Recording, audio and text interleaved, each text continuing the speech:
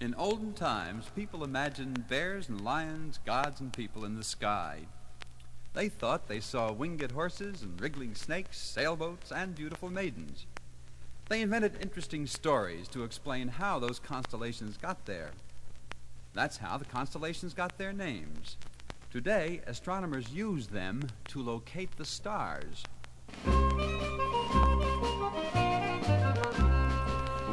Wouldn't it be heavenly to know the constellations? Scan the skies and recognize their names and their locations. Though they're only figments of our own imaginations, wouldn't it be heavenly to know the constellations?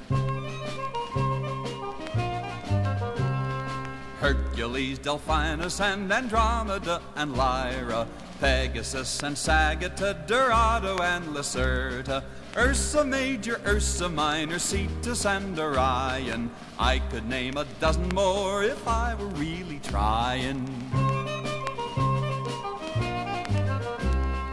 In the zodiac you'll find a dozen constellations. You can trace them in the sky with just a little patience. Leo, Virgo, Scorpius, and Gemini and Taurus. These are five, now who can name the other seven for us?